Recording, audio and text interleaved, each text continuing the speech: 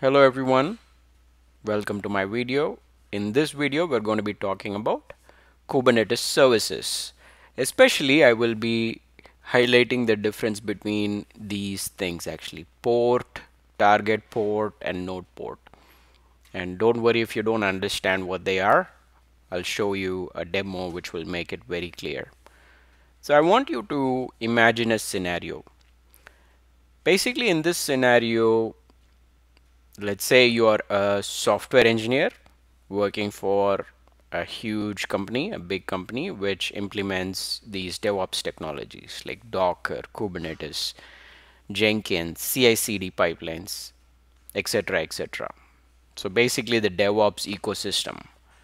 And you're working for a team which is developing a web application or a certain REST API, right?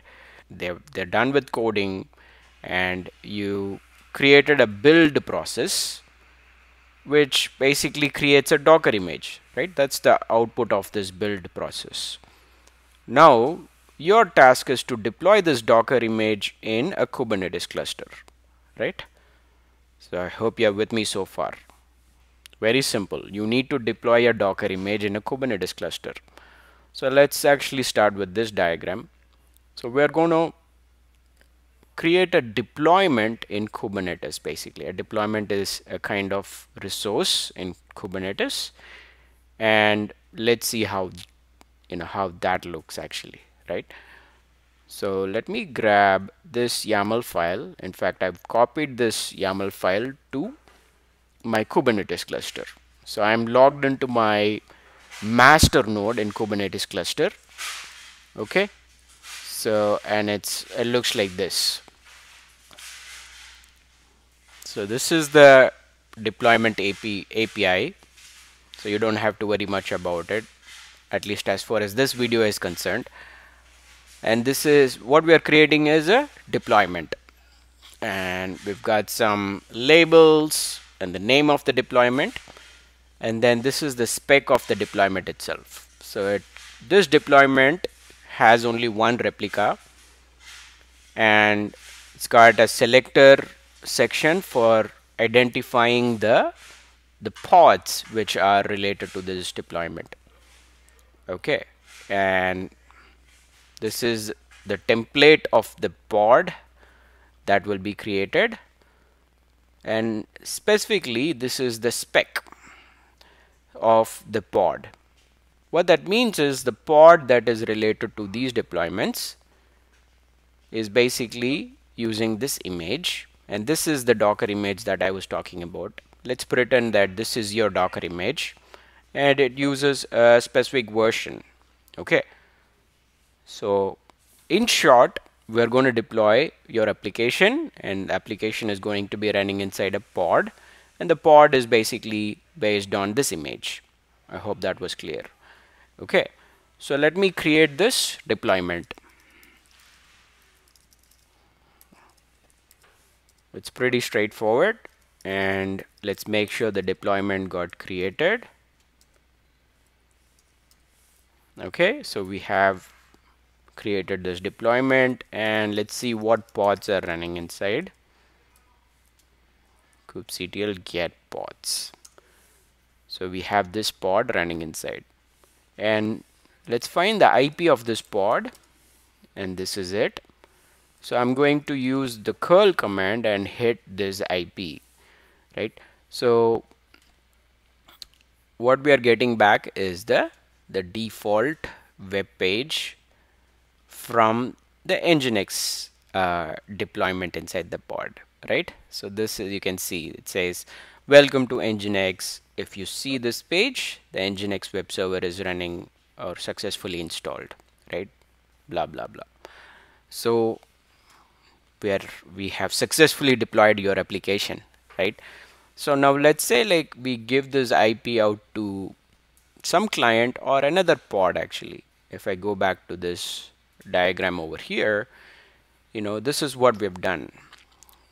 A deployment which has pods and you know IP of the pod looks like this and the target port is basically where the application is running.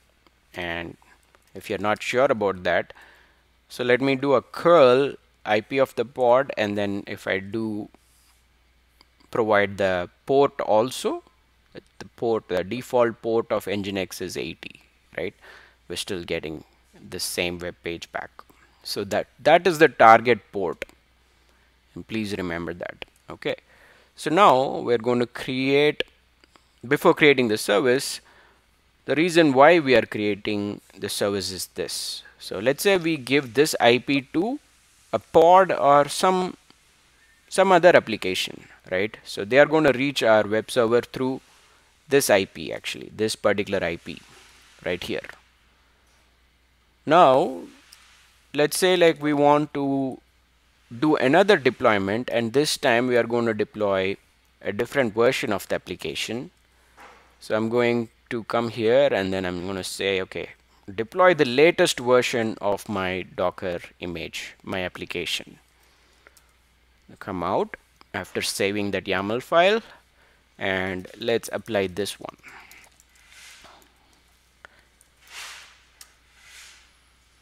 So basically we have applied this new deployment changes. Okay.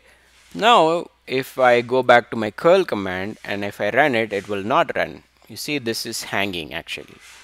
And that's because if I look at the IP of the pod it looks like this right? It has changed from what it was before right? So and that's because the when we do a new deployment your pods will be recreated and every time there will be new IPs for those new pods actually. So you cannot actually give the pod IPs to your you know your peers the other services which want to reach your application right? Like to this guy you cannot give the pod IP so what can we do actually? We have to create a service. So how can we create a service?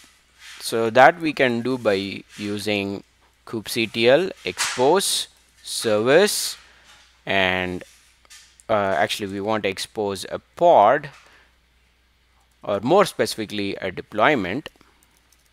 And the name of the deployment is nginx dep and the target port is basically the port on which your application is running in the pod in the pod over here that is 80 and the port on which this application will run is 80 and that's it actually.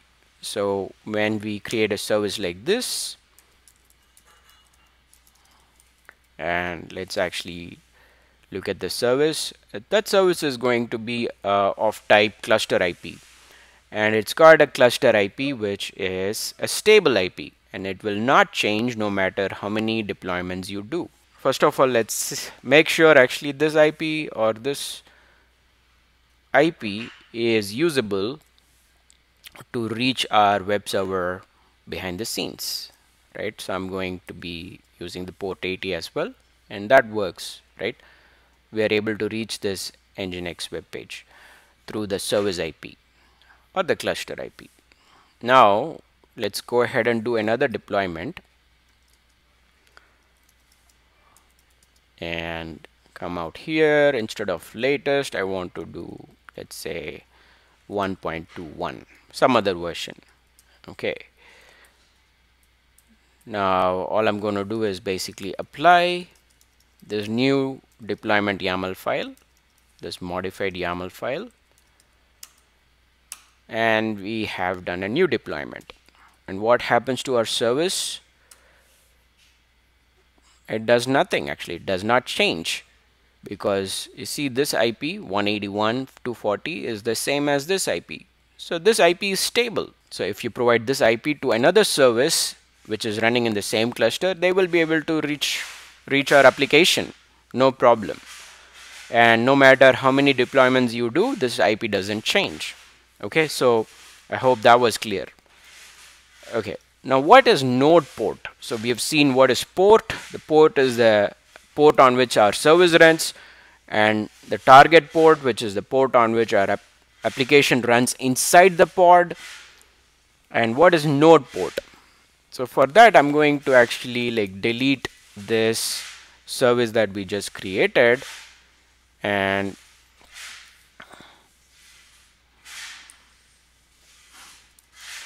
I'm going to go back to this expose command to create a new type of service. And this time I want to create a node port type service. We let's come back to this diagram. So this one we already see right?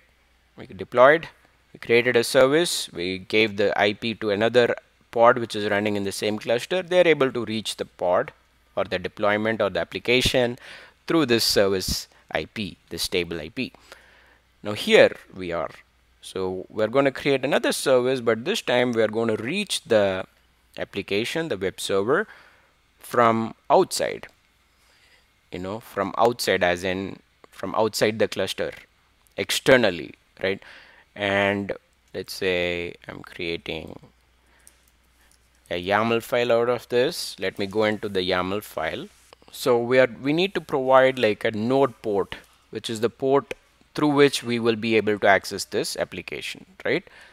So let's actually provide another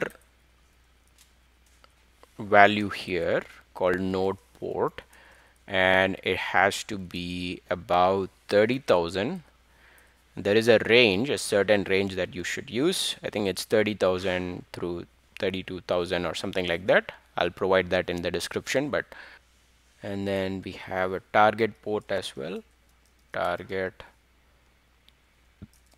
port and that is 80 let's come back here.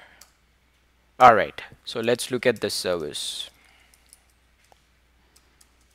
So this is a node port type service and it's got an IP and the inside the cluster it's going to use the service is going to use this 80 port and it's going to use this 30,000 port as well.